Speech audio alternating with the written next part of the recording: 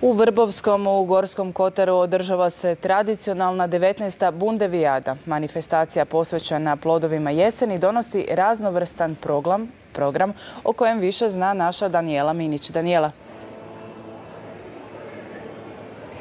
Dolaskom jeseni uživamo u raskoši njezinih boja, ali i plodova. E, jedna od kraljica plodova jeseni ovdje u Gorskom Kotaru svakako je Bundeva, koja je posvećena cijela jedna dvodnevna manifestacija koja je e, počela jučer, održava se i danas ovdje u sportskoj dvorani grada Vrbovskog.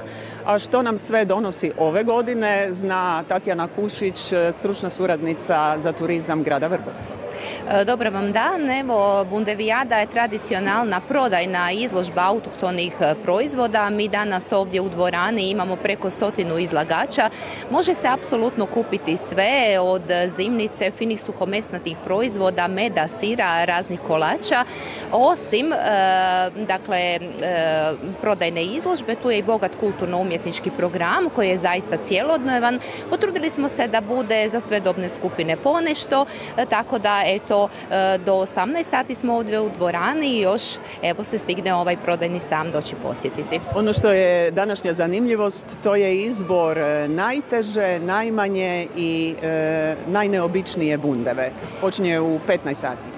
Tako je to jedan već tradicionalni, simpatični izbor. Moramo reći da već e, kod Bine su nam došle dvije velike bundeve. Biće vrlo zanimljivo gledati to vaganje i vrlo mi je drago da se sve više naših e, i građana i posjetioca uključuje u ovaj izbor i prijavljuju se naravno sa svojim bundevicama.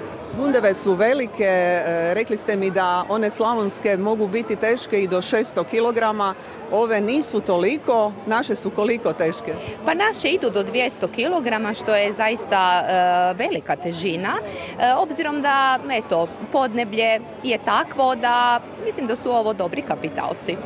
Ovdje ima e, doista velik broj izlagača, kao što ste spomenuli, nudi se autohtono uzgojena hrana, među ostalim naravno i od bundeve.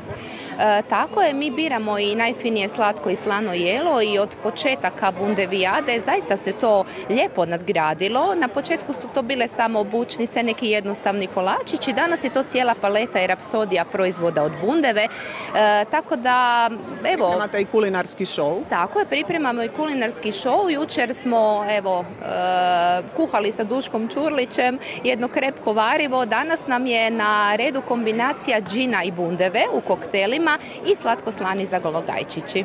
Mnoštvo je posjetitelja, lijepo je vrijeme i toplo, to je doista očito mamac e, brojnim e, ljudima da dođu ovdje u Gorsku.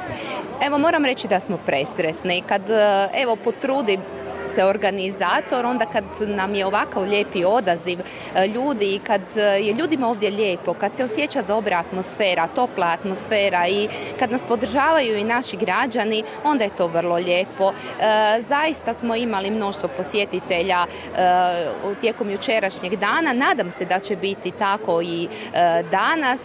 Već je? Već je, evo već polako kreće taj, kako bismo rekli, moving.